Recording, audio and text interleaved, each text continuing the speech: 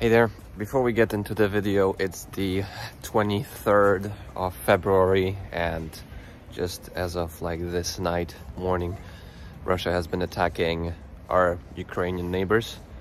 Um, I just wanted to send out all of my support to Ukraine and the people in Ukraine. Stay strong. Um, yeah, I, I think we just need to do everything to keep peace in this world. I know it's not a political channel or anything, but something like that happened with missile strike in cities. And so much military military aggression is towards the country then uh, it's just it's just not a normal day anymore. So i thought i brought that up send my love and prayers. Let's get into the s20 unboxing. Hi and welcome to wrong way. And today we'll be unboxing the Kingsong S20. So, oof, let me tell you more about it. Wrong way. And of course, first up, big thanks to MyEWheel for providing me this wheel for testing purposes. If you want to get a wheel or this wheel or any other wheel in Europe, feel free to use the um, link below. And also a coupon code called WRONGWAY for additional 5% off. I also do receive kickback from these orders, so you know what's what. Anyways, uh, I'm a bit late to the party. There's been already lots of videos about the S20, which I also highly recommend you checking out. Um, for EUC upgrades, what? EUC upgrades uh, for checking the quality, made a pretty nice video. Uh, already a couple of reviews out, Electric Dreams made one, so feel free to check that out if you can't wait for my review. But anyways, it's here, and just for comparison, this is a Kingsong 18L box. This is by far the biggest box for a EUC I've ever received. Bigger than the Veteran Abrams, bigger than the Monster Pro, pretty huge. And the batteries are separated, uh, I mean separate because it's shipping by air. And here you can see, I always talk about labels, so finally I can show you an example.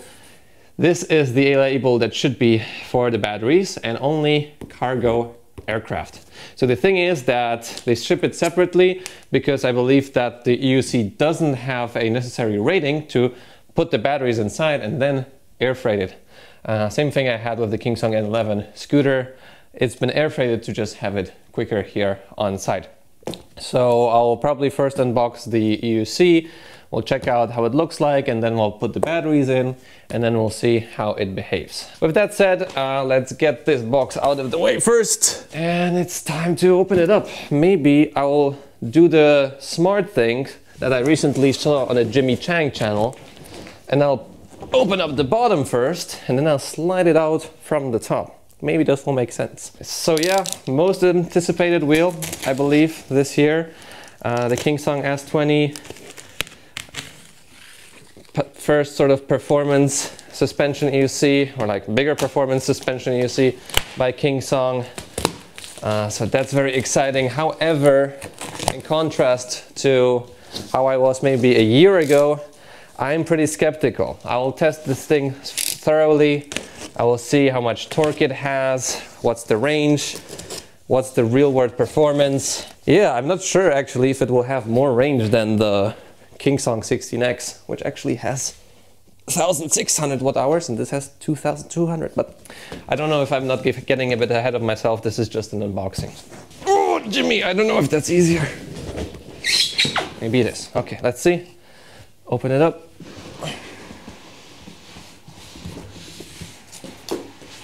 Okay, things, things are falling out. But I believe the EUC is stable.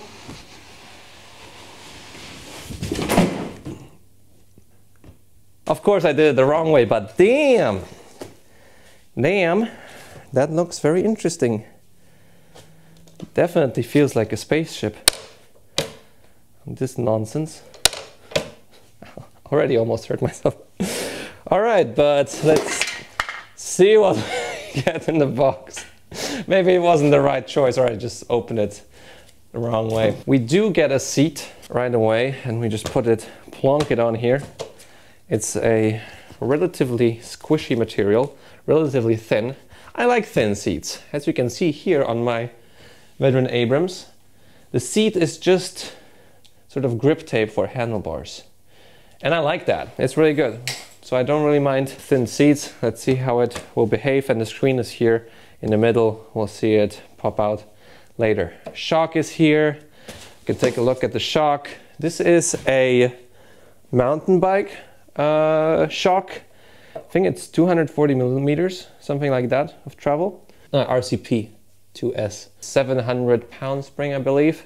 Anyways, how it works here, this um, system is already pre-installed with air or gas, so we can't change the pressure like we could on the S18. We can just ad adjust here the compression and also the rebound here. Boom. Yeah, is it this rebound? Yeah. So still pretty nice settings. It's, um, I would say, a low tier suspension anyways. Probably it's better to put something more pro in there, but that's what we get here. Um, yeah, I guess a low mid tier suspension, but maybe it works amazing. We'll get to this stuff in a second. uh, stand from EUC Clubhouse. Hopefully it will work with it. And it's very peculiar. Like, this doesn't make sense. Lift it up like this. I think the handle should just be like this permanently and just have like a switch maybe. This would be comfortable to pick up. This not.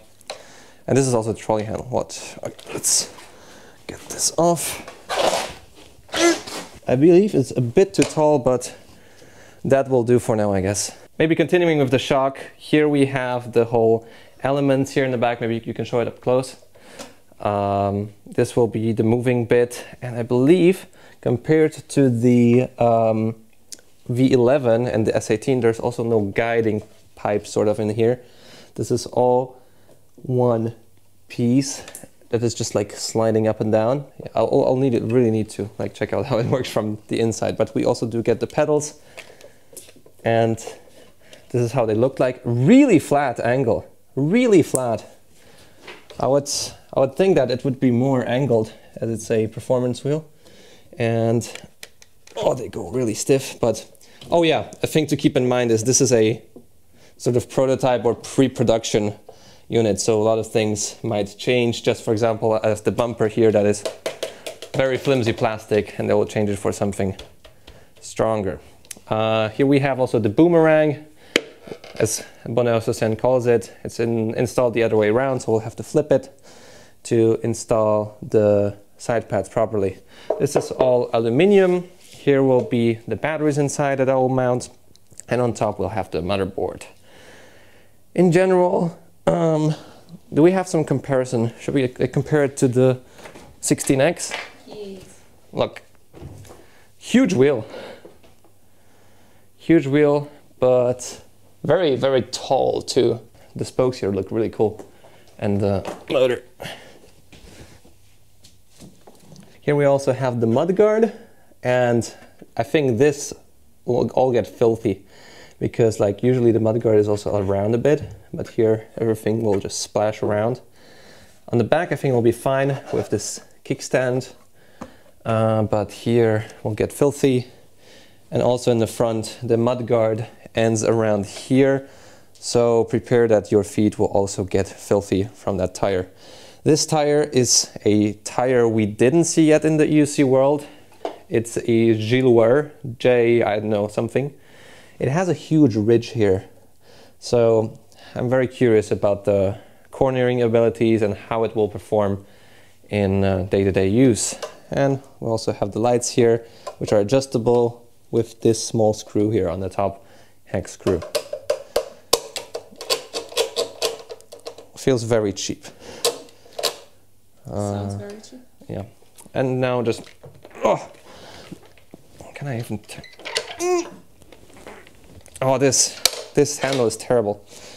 Can I even, oh, I guess Kingsong took some inspiration from the RS, um, installing a handle that doesn't have a button and is like in the front of the wheel or like not in the middle.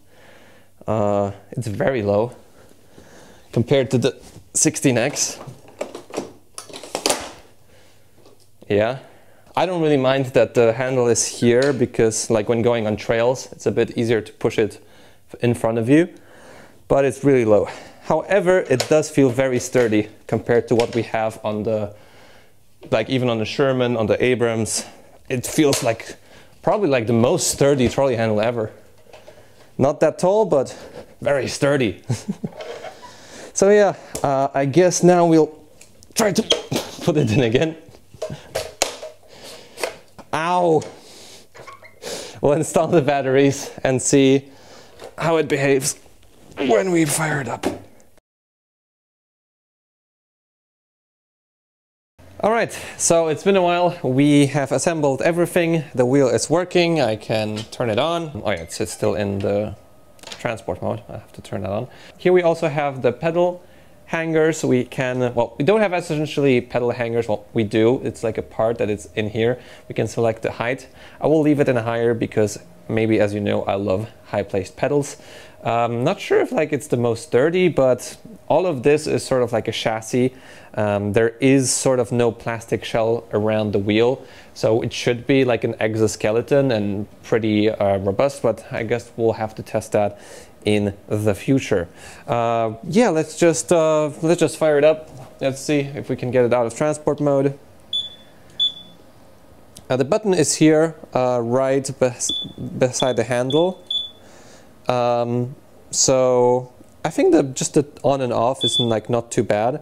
It's relatively simple to do that. However, the charge ports are also there, so we will have to test like what it's like to grab underneath there to the charge ports. Oh yeah, we need to also upgrade the firmware right away. Oh, it's showing me showing here also the look upload 2%, 3%, pretty nifty screen. And this is also all see-through this panel. You can also see some diodes here from the motherboard here on the top. Pretty funny.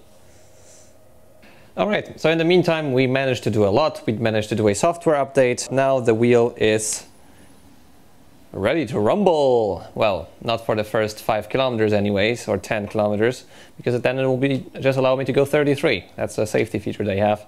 Um, bit annoying, but I guess for new riders, it's re reasonable, but for someone that has more wheels, then not that much. Anyways, I didn't tell you yet about the additional um, things that we have here in the box. Maybe first of all, we have the charger. Um, the production charger will be uh, probably a different one.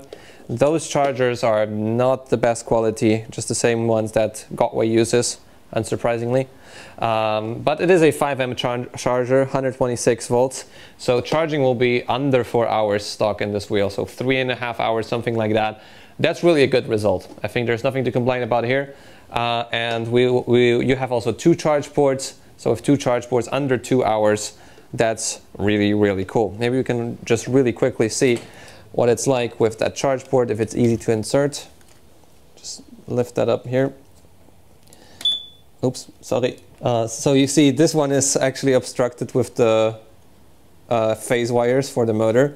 So maybe I'll just use this one instead. They use that also because it's just on the other side of the motherboard, so it's like cheaper for cost. Well, I guess it's doable, but if you have everything wet here after a ride, I don't think it'll be comfortable. I think there, there would be definitely more reasonable places to put at least the charge ports in than that. Uh, but I guess we'll see in the long run how it goes. Next up, we also have the seat, and the seat just has some Velcro here on the side. I showed it already but I guess we can already also mount it on. It also provides some further uh, protection from the motherboard on top because there's just like two layers of plastic protecting the motherboard. So I guess anything that um, adds to that is a bonus. So let me do that real quick. Maybe a bit to the side. Oh yeah, that's how it should be. So yeah, now we have the seat here. The screen is very much in the middle here, so I think it's not the best placement. Should be around here maybe in the front because you will just need to look down and back a lot. And if you're stationary, it shows you the um, battery percentage, and if you the wheel is like that, it shows you the speed. Very bright LEDs, very visible. That's uh, pretty cool. But I guess the lift switch with the, sweet, with the seat just works a bit funny. Next up, we also have the power pads, and that's also why I put my shoes on already. Now, usually you get a wheel and the side pads are pretty much unusable or they're like just on the top here like on the 16X or on the uh, 14D. These ones actually I really like, uh, the ones on the top or like on the V12. However, they're not like designed for performance riding. So then you need to buy some additional pads like these torque pads, which efficiently really match the color of the wheel. Although this is a bit, I believe, a bit more intense than this red. Uh, but we also have some stock pads by Kingsong, stock power pads. So we tried to put them on. Sadly, they're just with some double-sided tape. I think that's not the best solution, especially if, if you have different shoes. Uh, like for winter riding and for summer riding, then you can't adjust them. And on the marketing material before, they were showing adjustable, adjustable side pads. Now we just have this and some additional pieces here, which are labeled BR down, so right side down, um, which is, I believe, this one. So then you have an extension, so it's just a bit more firmly in place. Also, just like one strip of uh, double-sided tape here. Um, I think that's a bit of a cheap out. Honestly, what I would like for the wheel is just to come stock without any pads. So we just have these flush sides, which are pretty great, although not long enough, I believe, for most pads. Uh, and then you just either buy the ones that you want from Kingsong, or you just get uh, some custom ones like the torque pads, which in my case work on every wheel pretty much. With that said, that's what we get here, so I'll try to put them on. Does it, is it off now? Yes it's better to grab on this than on uh, than on this part. So let's try to see uh, around where my foot would be. Guess around here. Foot plates are very long. I guess these are the longest foot plates I've seen. Let's check how they compare to the Hextecs. I guess around the same. I hope I get some Nilonova for it soon too though. So yeah, let's try to see around where it would make sense with the lower pad. This boomerang is to like guide you where you would want that ideally. So let's see. I guess for me it would be somewhere around here. So a bit to the front. Would that be right? Let me just stand up real quick. Yeah, I guess that would be around right. So now I need to remember, just take a bit to the front and I can remove the double-sided tape. Already I could feel it digs into my uh, ankle a lot. So let's see. Um, if the guard, I guess it was like that. I guess. No, maybe. see, it's difficult with because once it's on, it's on. Uh, like a bit angled more down. Down? Like this. Wait, let me put that shoe sh foot on again. Do you need a additional hand? Ah, wait. Or maybe I, maybe I put it just very gently. Just a bite. Okay, that doesn't look right. Maybe like this. Oh, that looks about right. But okay, it's it's on already. so I, I can't do much. so I guess if I don't like it, I can just move it later. But I'll also put these on so I can, can I put them on even now at this point? Let's see. Bit tedious, bit tedious, not gonna lie. Ah, because I have it just a bit angled so it doesn't fit that nicely anymore. Okay, I guess that's, wait. Ah. uh,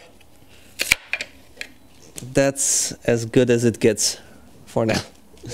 So that's that's that for now. So let's try also to put the top one in. All of those are pretty squishy, but still with some resistance. I like the shape that it like really tapers off and it's like really sharp here. But I know I don't know if it will be like my favorite pad ever. Ah, it's a bit difficult. Maybe I'll just put it in like this it's more difficult than putting a picture on the wall and like make sure it's leveled. That's the left one up. So this time we learned the lesson. We will put this one on first. And I believe I have to just put it below the screws because otherwise it won't fit. So let's try it like so. I guess that's as good as it gets. And let's put this one on. Uh, how was it again? But this is also a bit in the way. Uh, let's try. I guess that's where it is now. so it looks very cool. I mean, this doesn't fit anymore. but with that said, I'm really happy that they also choose red. So many UCs are just like black or like white. I think that's pretty interesting that they choose a different color. Seat. Ooh, suspension. and it would be great if they have multiple colors to choose. Oh yeah, because not everyone likes red. And the pedals, they ha they're held on by friction, so they will still stay in place, even if you have those pads there. Okay, let me do the other ones off camera because it's just very tedious. All right, so as good as we could do it, we put everything on. Um, interesting thing is that it rolls backwards by itself if uh, nothing happens. So sort of like the EXN. So if you turn it off, it's just like goes backwards right away. Um, so that's that.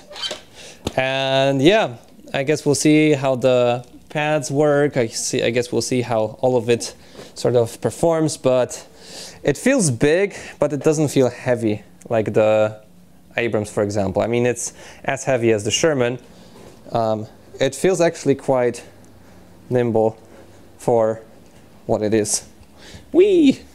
And here you can see that the top is sort of shaped in this way so it doesn't like really hurt your legs um, because the, for example the Abrams is like this and then your knees go against it. This seems still fine, still manageable I think although it's a big wheel. Maybe just really quick I put the Sherman next to it. Don't roll back. You really need to, to watch out with this wheel so it doesn't roll back. Does it still go back? Good. So here's the Sherman. So it's noticeably taller. Um, in terms of width, maybe a bit wider, maybe a small bit wider. But yeah, it's definitely also longer because of that shock. So if you need the portable wheel, not sure if that's the best option. So I guess, uh, or maybe we just test out, should we test out the light? Yes, any, just rolling backwards. Uh, anyways, that's the light of the uh, S20. Relatively focused, as you can see. I like that, that it doesn't like shine over the place and blind you or blind oncoming traffic. Uh, but let's see how it compares to state-of-the-art V11.